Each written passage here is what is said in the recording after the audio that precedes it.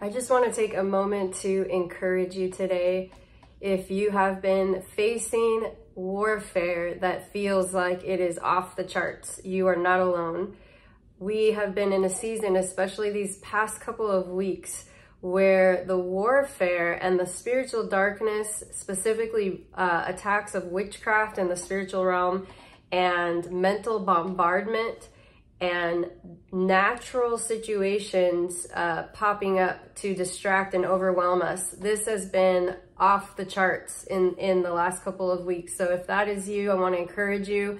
I'm speaking to those of you who are following after the Lord, um, but you have sensed this almost like the enemy's trying to put up this false illusion that there that you are stuck, that there's a wall in front of you, and you felt like, okay, I'm very close to the breakthrough because you are, but you see uh, in this this recent season that the warfare has just taken been taken to another level. Some of you are having it in the night and having spiritual manifestations of darkness in your home. You're having spiritual attacks in dreams. Um, and I, I, especially feel like with the witchcraft intensifying, you're, uh, many of you are facing huge amounts of mental bombardment of just darkness trying to come in um, and old things that you have already conquered in the spirit trying to remanifest. So I want to encourage you if that's you. I want to validate. We don't we don't close our eyes and pretend like we don't have a very real enemy. We don't close our eyes and pretend like we don't have to battle in the spirit. That is uh, naive, that is ignorance, and we know that the Bible says it is for ignorance that people perish. And so we are aware of this battle that, that is being waged against us. But I want to encourage you with this, that many of these things that you're facing, you have told the Lord, I don't know how to over, how to face this because this seems like I, there, there's no clarity on how I can overcome this. There's no direction. This bombardment is just outside of my capacity. And the Lord would say to you, just as he's been saying to me over and over the last couple of weeks, is to praise him as your weapon, that your praise is your weapon. That praise is actually, this is what I heard the Lord say, that praise is the truest form of rest. That the Lord is calling you in this battle season to rest and be still and watch the salvation of the Lord, but specifically to choose rest through worship and praise. So when we choose to worship the Lord and praise him and say, God, this seems too much. God, this is more than I can handle. God, where is all this coming from? Why is this happening? I, I, this is what's happening, but I choose to praise you. I believe that you have won this battle for me.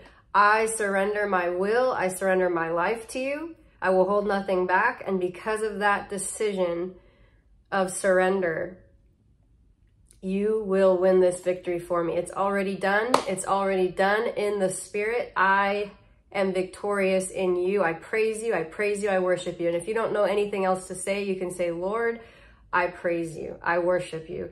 That is a pure form of rest because when we worship him, it's as if we're saying, I don't need to fight this because you are fighting it on my behalf. You are great. You are higher than everything that's coming against me. And so choose to worship the Lord as your greatest weapon as you face these battles. And I'm going to put a link in the description to a word, a written word of encouragement about choosing to rest through worship, um, just for more encouragement and more time to really soak in this reality. We, we are a people of an upside down uh, kingdom, right? In comparison to the world. So when we go to battle, we choose a position of rest and we actually worship him as our battle cry. We worship the Lord who fights for us. We stand still and watch the salvation of the Lord by worshiping the Lord in the face of the most intense darkness that some of us have ever faced. The, the battles that are waging against many of you in this hour are off the charts and beyond what you thought you could face. And that leads us into, I have no other option except to praise the one who fights for me. So I just want to bless you with that, Father. I pray you would bless your people today. I pray that you would give us hearts that rest in your authority, that rest in your faithfulness, that rest in the fact that you are Jehovah God. There is no one above you. There is no God other than you. And you sit on your throne that you have already won these battles for us. You have already secured the victory. It is already done in the spirit. So we praise you. We praise your name. We lift your name on high. We honor you, Lord. We honor you, Jesus. We honor you, Holy Spirit. There is nothing hard for you. There is nothing impossible with you. We praise you. We praise you. Let praise be on our tongues until we see this breakthrough.